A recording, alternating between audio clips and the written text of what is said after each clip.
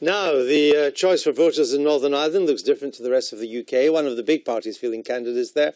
The SDLP has been around for a long time and it's launched its campaign in Belfast today. A series of SDLP candidates addressed the press conference where the key message was one of prosperity, not austerity.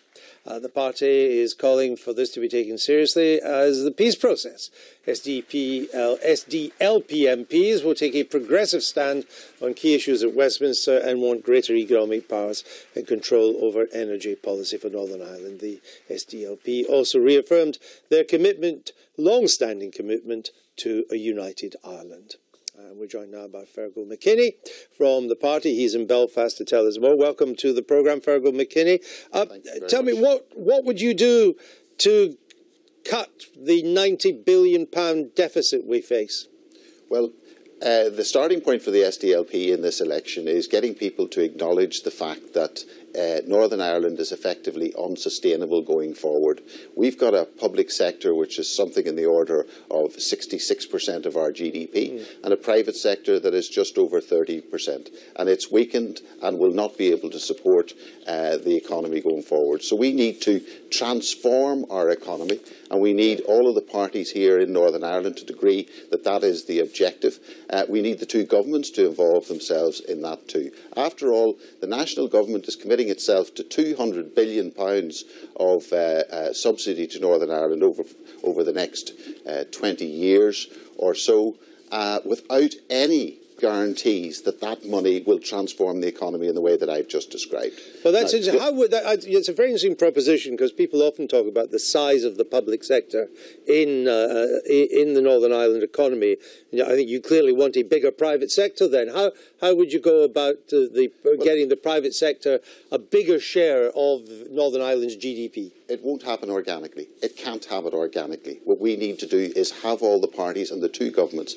After all, when we were saying that power sharing was the way forward, and that was the unique SDLP voice at that time, people didn't listen. Mm. But in fact, it has turned out to be the way forward. The problem is that Westminster, if you like, applied a, almost a fire and forget policy in relation to devolution. And now, uh, with the Tories in, in, power, they're cutting our block grant all the time, while our private sector is not yet strong enough. So we need a commitment from whoever's in power uh, uh, along with the parties here, to say we're going to do something entirely different to transform that economy. So first and foremost, the first word on the page uh, of, on all parts has got to be ambition. We've got to sit down and scope out the scale of that ambition and then start to bolt in, if you like, uh, the aspects of uh, finance, that will apply to that. But the type of things that we'd like to see, for example, are infrastructural development. You know, you've got a huge HS2 project uh, connecting north and south of England. We don't even have a motorway connecting our two major cities. And we don't have a major thoroughfare on the uh, west coast connecting Derry with uh, Dublin. We haven't got a technological university to provide for the types of jobs that we would envisage coming forward in the future in terms of how that economy and that private Of course, all that would mean more public spending, wouldn't it? You yes. would probably increase yes, the share of uh, public sector GDP. Yes, but what, what, what, I said was over a longer period of time, uh, the government is actually investing that money with no preordained outcome. Let's agree a plan and let's use the public sector money. And even if it takes a bit more at the start, let's start that with a view to reducing it more dramatically uh, as time goes forward. Can I and build you? That and build that private sector. Right. Can, can to, I just, uh, sorry to interrupt because we haven't got much time, but I'm just interested. Can you detect the beginnings of a consensus on the centre left and the centre right in Northern Ireland for the sort of thing you're saying? The SDLP leads in these type of debates. Other people will come dragging, uh, kicking and screaming to this debate. We're starting it. Today. If you want a consensus, We're, you may have to be a bit more magnanimous on well, that. perhaps, but I'll give you an example. I'll give, I'll give you an example of, of, of. But I mean, I don't know if there's a word to describe excitement within Treasury officialdom. But I think this type of thing should uh, excite the Treasury because they can see within it the potential for investment to save in the longer term. And remember, uh, uh, and, and, this is, I think, where parties will come on board, we're not asking for a deal, we're offering one. All right. Just final question. It's very interesting what, what you've been uh, saying.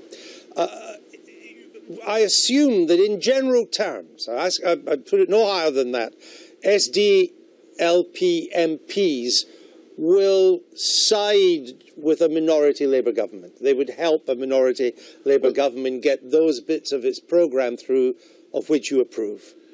Well, I'll put it like this. We've just, I've just sketched out to you what we see as the future. And I know that uh, uh, Ivan Lewis and Vernon Coaker before are intimately aware of the issues that are at, at the heart of our problem.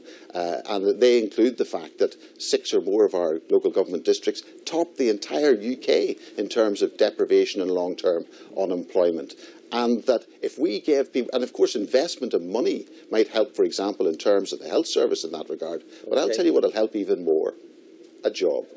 All right. We'll leave it on, on, on that, a simple proposition. Fearghal McKinney, thank you for joining us from Belfast. Thank you. Now, they've been sliding in the polls in recent weeks, but